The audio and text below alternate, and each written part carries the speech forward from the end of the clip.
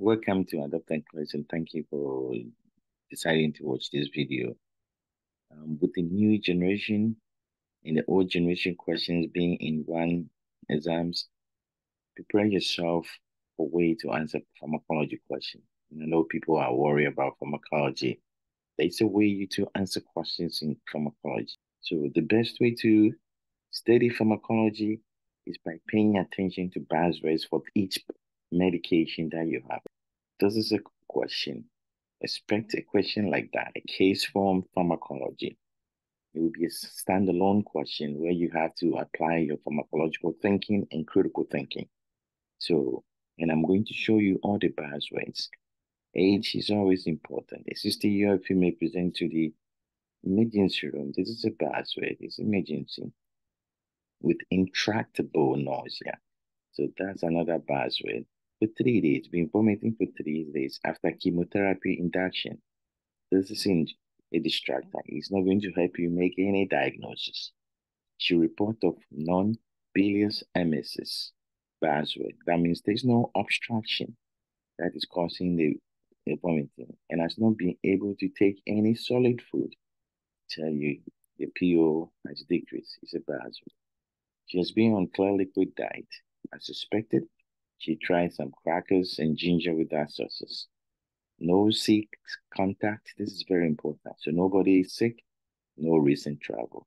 In physical exams, mucous membrane is dry and capillary refill greater than three seconds. That's key telling you that patient is dehydrated. So I came in because I'm vomiting for three days, right? And uh, the vomit is non-bilious and I don't be able to eat anything. Those are all the key bowel sweats. Patient is afebrile tachycardia, consistent with the dehydration. Blood pressure is low, consistent with the dehydration. These are you analyze the case. What happened? Two liters of lactate ringer was given, and patient was given ondansetron. That's words. Then six hours later, the vitals normalized, and she was discharged home with what? Ondansetron. I've not asked you a question. All you have to do, analyze it. There's a bunch of keywords I've shown you in the case, and then you know that patient is being prescribed ondansetron. So I've treated the problem. Now your focus should shift. Patient coming with nausea, vomiting due to chemotherapy induction. Look dehydrated. Give the patient fluid and give you a ondansetron. Okay, so what is the question? One week later, one week later, she presents with what? Drowsiness, buzzwords, headache, buzzwords, excessive blinking of the eye, buzzwords, and tongue protrusion, buzzwords. These are all signs you should know. They are buzzwords. When you hear it, you know that this is a side effect of ondansetron. Basically, I've given you the side effects of the ondansetron. What does it tell you? All these things are expected finding of ondansetron, expected finding of ondansetron, expected finding of ondansetron and tongue protrusion, expected finding when they have toxicity of uh, ondansetron. So there is overdose or toxicity of ondansetron that they becoming drowsy, headache, excessive blinking, and tongue protrusion all are side effects. That should tell you the tongue protrusion and blinking are extra extrapyramidal side effects. So you should be worried about this patient. It's getting toxicity. What would you do? Which of the following is indicated? Select or apply. You pick those you're confident. So this will be plus minus one um, point. If you know what is going on, you should be able to pick the right answer. You can't select all because then you lose a point or you get zero for that question. What are the signs and symptoms of ondansetron? I've given you all of them. But what should you worry about this medication? Now, I've given you all the side effects that you to think about, except one that you should know about this medication. So which is indicated? We need to stop the medication. There's no need to check CBC. It does not affect CBC. It, it has central acting effect, which is extrapyramidal side effect which is TD, tardive dyskinesia, akathisia, okay, acute dystonia. All these are extrapyramidal side effects. In addition to drowsy because it acts on the brain, it causes headache because it acts on the brain. But then there's one serious complication is QT prolongation. QT prolongation. So you have to watch for this. We don't need to check CBC. If you give the patient metoclopramide, this is another anti-emetic. This also has extra extrapyramidal side effect, and it will worsen the excessive blinking or the tongue protrusion. So we should not do that. EKG start, QT prolongation. Keywords. Cardiac monitoring, QT prolongation. Buzzwords. IV bolus, I don't give you any vitals. It's not indicated. There's no any evidence of she throwing up. All she care about drowsiness, headache, excessive blinking, tongue. Toxicity of uh, QT, um, you know, dansetron. The most important issue you have to worry about is QT prolongation. Those are the side effects you should know about this medication. Extrapyramidal side effect and QT prolongation. And among the extrapyramidal side effects, which are called the ADAPT, where A is acute dystonia, akathisia, parkinsonism, and tardive dyskinesia. This is very important, the TD, tardive dyskinesia. So for this patient, select or apply. There's three answers there. If you pick five, you get zero. You pick those you're confident. If you know only one, you want to pick this, then you pick one, you get one out of three. So pick the one you're more confident, not everything. Okay? So that's that question. I'm on the NCLEX.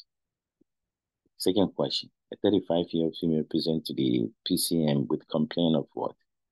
Yes, buzzwords, and buzzwords, fingers. When you're describing location, you have to pay attention.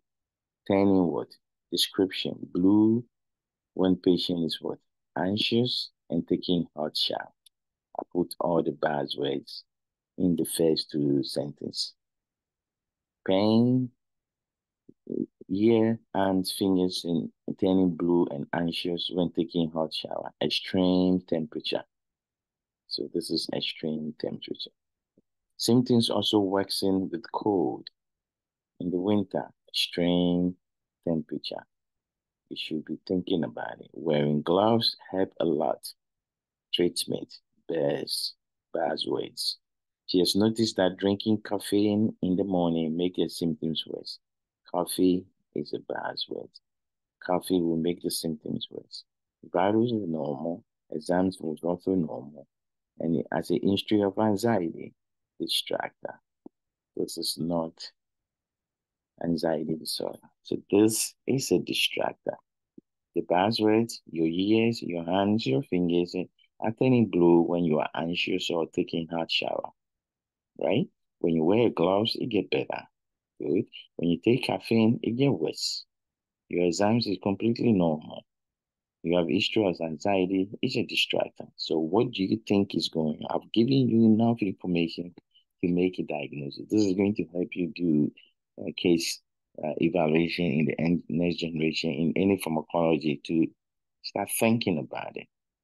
So this is what we call Raynaud's phenomenon. They have vasospasm of the hand vessels, so that blood flow goes and uh, decreases when you're exposed to extreme temperature, cold, extreme cold, and hot. So you tell them not to do that Okay, gloves when you go outside. Okay, avoid caffeine is very good. Decrease your stress level. Okay, and then you treat them. What do you want to do? This is the vessel supplying the hand, and you go into spasm. When you go into spasm, blood flow decreases. I need to open the vessel to allow blood to flow. The muscle here muscle here need to be relaxed. Which medication can relax this muscle and help with that? And help the vessels to dilate. Yes. Ergotamine, this is a vasoconstrictor. We want a vasodilator. Pseudoephedrine. You see what I'm doing? This is how you answer pharmacology question. It's a select or apply. You pick those you think you know. And no pseudoephedrine is what? Vaso what? Constrictor. I'm not going to use it. Calcium channel blocker. Yeah, diltiazem cream is a vasodilator. Nitro cream is a venodilator. Veno, vein. Phenylephrine is a vasoconstrictor. So the right answer is diltiazem cream. Somebody will say, well, you can use nitro. Nitro is more effective on the vein not the actual arterial. This one, we want blood supply to go to the extremities. So we want something that can affect the artery too. So the, there's only one answer choice here. If you pick more than one, you get zero. This is what you should be doing with pharmacology. Diagnosis by finding cues and bias in the question and answer the side effect. They give you side effect and you know the side effect, you should be able to go back and find it medication that is causing that side effect. So start doing that. Side effect and then which medication causing.